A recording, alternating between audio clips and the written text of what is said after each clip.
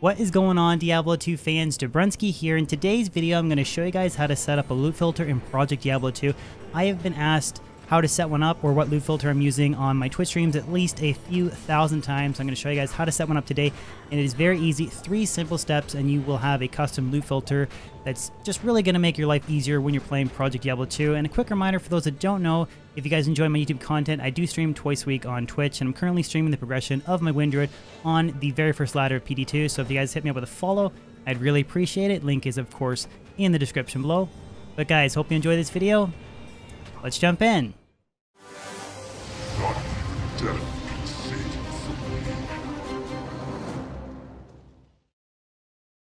So like I said, it is three simple steps to set up a Project Diablo 2 loot filter, and the first is going to be to join my Diablo 2 Discord. Link is, of course, in the description below. If you don't have a Discord account, don't worry, it's free to make one, and I have a subsection where I have a couple pre-made loot filters that you can choose from. And of course, if you guys want to add more, just feel free to DM me or a moderator on my Discord, and we can add more loot filters just for more variation for you guys to choose from. But like I said, once you have joined my Discord, you're going to scroll down the side here to Diablo, and at the very bottom under Project Diablo 2, you're going to click on PD2 Loot Filters, and there's going to be a few different ones you can choose from. Uh, maybe by the time you watch this video, we might have a couple more uploaded, but there's this Kryszard's PD2 filter. That's the one that I'm currently using. And I have an A Development PD2 loot filter, as well as BTN Neanderthal's uh, Twitch streamer, his loot filter. So there's three different ones you can download. Just start with the first one. I think that it's pretty good for endgame grinding or for working your way through the game. That's the one I'd recommend you to start with. So step one is just going to be to download this loot filter. Step number two is to take the downloaded default loot filter file that you just got from my Discord and you're going to copy and paste it within your Project Diablo 2 folder. So go to where you have your Diablo 2 install, double click on Project Diablo 2 because it has to be within this folder. So double click there and then copy and paste it into here. And then you'll see it when you double click here on default this is your loot filter. When you open it up, you should see this crazy line of text, okay? If you open it up and you just see default loot filter nothing, I think was the sentence if you don't have anything changed, you did something wrong. You want to make sure that you have all this type of coding.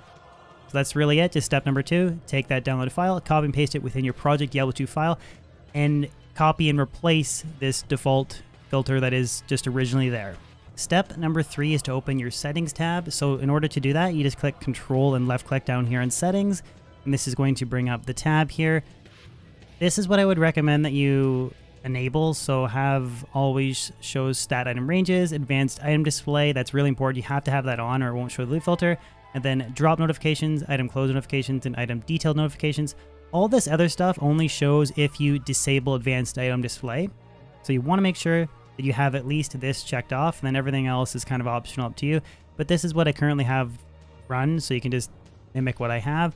And then to close it, just right click. Now just to show off what it's going to look like here. Um, so they just changed a couple small things, like it'll tell you an amulet here. You can use it to create a caster amulet with perfect amethyst, realm and a jewel. Couple small things like that. Uh, charms, well, these are identified, I guess. It looks a little bit different if they're unidentified, which I'm going to show you guys an example of Chaos Run so you can kind of see what it looks like, but it's pretty easy. I mean, it's a nice standard loot filter. It's pretty clean. It shows like Elverin here. It'll show the quantity. So if you throw a stack on the ground, Elverin times five, and you can kind of see like you have to add a cube to cube it up, whatever. And I just, here's all my runes that are in the order of what they dropped. And so you still see like you still see the stat ranges on the rune words because you have that enabled on your settings. But yeah, that's basically it, guys. Three simple steps. You should have a PD2 loot filter up and running. So I'll just do a quick chaos run and I'll show you guys what it looks like with the drop notifications and stuff. So my druid is a little bit stronger than the previous build video that I just released. I was kind of mostly focusing on farming the pits now, but I can do Chaos Sanctuary. It's a little bit slow going compared to the pits, and technically there is the same amount of drops, but it's just nice for variety. You don't want to farm the pits hundreds of times. Okay, so here's a good example right off the bat. Certain items like grand charms, uh, small charms, jewels, etc., you'll get this little drop notification that pops up. And if you look on the screen, you see this little purple dot? That notifies you where it is. So there's no way you're going to miss like jewels, grand charms, small charms, that kind of thing. Even though that was garbage, that's a really good example there. It shows you exactly it's like. And I believe it's small charms, jewels, uh, rare rings, rare amulets, unique jewelry, uh, certain specific rares that are more valuable, or sorry, or uniques that are more valuable than others. And there's short names like Mana Pot, Health Pot, uh, R for Rejuve. Gold piles below 5,000 won't show up as well. So again, with just the goal of trying to reduce clutter as much as possible. I do really like the fact that you just have to copy and paste a default, uh, like a pre-made configuration file. I mean, it's a lot more different to inject the slash Diablo into like vanilla PlugY, so it's a very, again, it's definitely a lot easier to set up.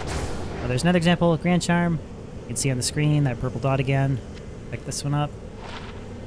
3 to maximum damage, 16 to life.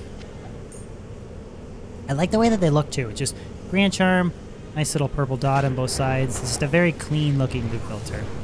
I've used some of them on the Path of Diablo, like the loot filter of the website, and some of them are nice and some of them are just pretty crazy in terms of like asterisks and, you know, Ber Rune and a million signs like across the screen. This is just a very nice kind of feels close to the vanilla D2 experience, like clean loot filter.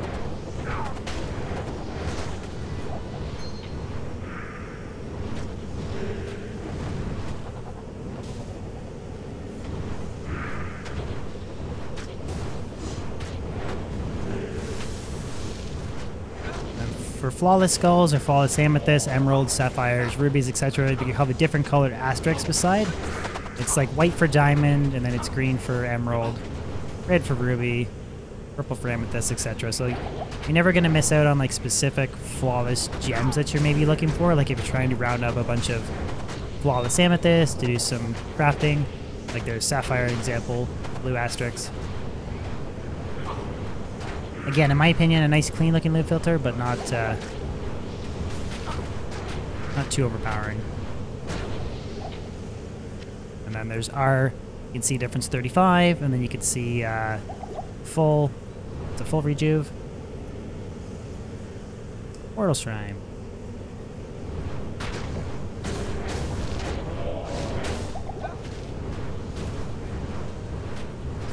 There you saw white phase blade base, so specific items make maybe phase blade for grief or whatever. He has them highlighted, like the same with white monarchs. If a white monarch drops, you'll see that notification up in the corner. Oak Sage does not last long against Infector, because it's immune to physical but not elemental. He really does not last long. Don't die, Merc. Stone Skin too.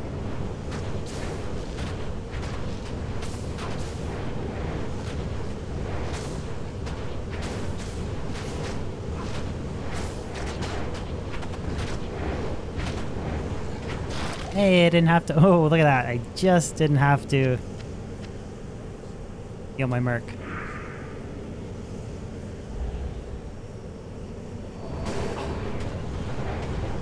I may honestly go back to pits. I'm not sure because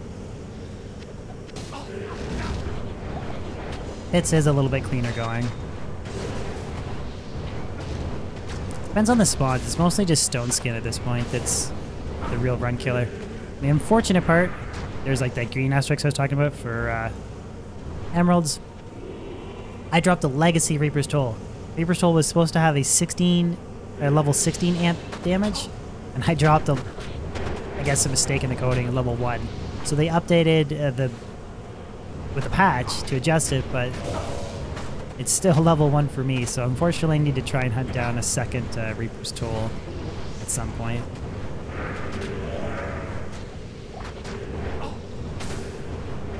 You can see, like, overall, loot filter is pretty cool. Like, those drop notifications showing up on the map. It's very clean, too. Not overpowering. No way you're gonna miss a wind force on a bale wave. We learn from our mistakes.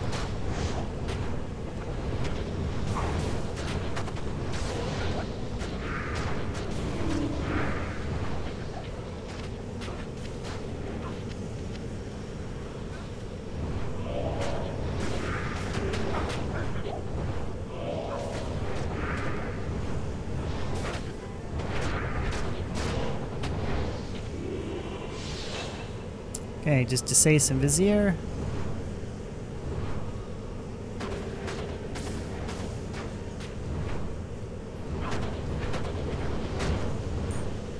There's another Grand Charm drop. I think my favorite aspect is the way that it shows up on the on the map. Like you can't you can't miss it. it shows up in the corner, Grand Charm drop, and then you see a big purple dot, well, little purple dot on your map. Just can't miss it. And it looks really clean too. Grand Charm, two purple dots on each side, and another junk one.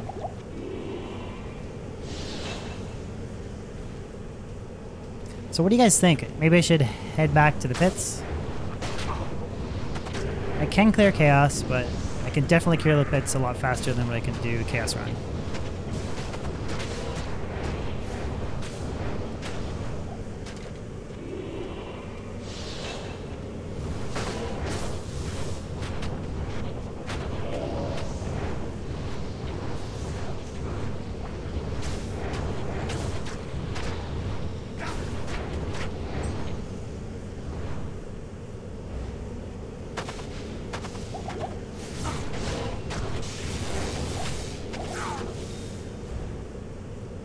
Alright, just Diablo left.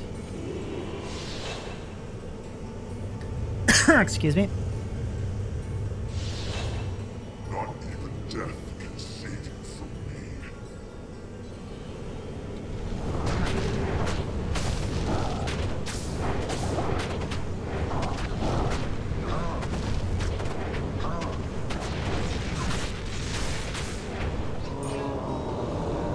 Hey, a Maul and a GC. Does anybody want a bone snap? That'd be pretty good for a barbarian. Well guys, there you have it. That wraps up today's video. Hopefully you guys enjoyed it and found it informative. Feel free to let me know in the comment section below if there's any other tutorials or guides that you'd like to see me make for Project Diablo 2. And as always, if you guys could throw a like on this video, share it, and even consider subscribing if you're new to my YouTube channel. I post new weekly content on YouTube, and I stream twice a week on Twitch.